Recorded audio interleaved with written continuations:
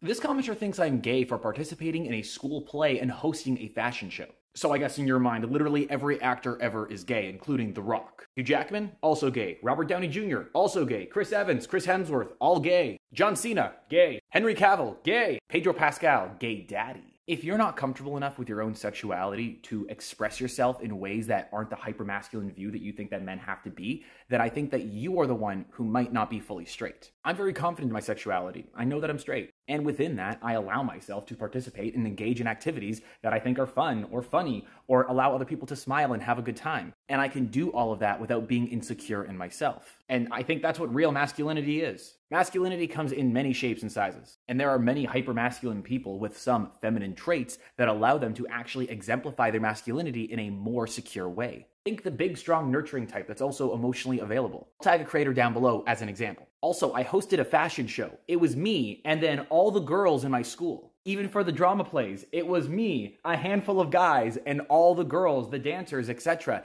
If you think that's gay, I don't know what to tell you. Because if anything, being on the football team is kinda gay. Just surrounded by a bunch of dudes in a locker room. And just so we're all clear, that was obviously sarcasm. There are no gay sports. On second thought, I am sure there's gonna be at least one queer person in my comments telling me of a sport that is inherently gay, but I don't know what it is. Long story short, grow up, bud.